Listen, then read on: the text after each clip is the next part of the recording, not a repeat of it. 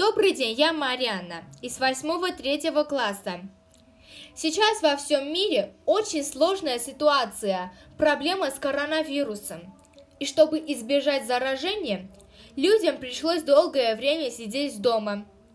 Тем самым нам предоставилась большая возможность заняться самообразованием, читать больше книг, смотреть разные интеллектуальные программы и, конечно же, изучать иностранные языки. Кроме английского, я изучаю французский язык, который мне очень нравится. Я читаю книги на французском языке, смотрю фильмы. Кроме этого, у меня очень много энциклопедий. Энциклопедия о животных, о планетах. И еще моя самая любимая и интересная энциклопедия – это энциклопедия о невероятных фактах и явлениях в природе.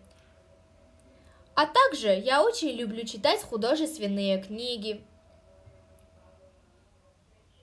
Я прочитала Джейн Эйр на английском. Прочитала Майрида «Садник без головы». Пауло Коэльо «Алхимик» и «Дневник Кристокрада».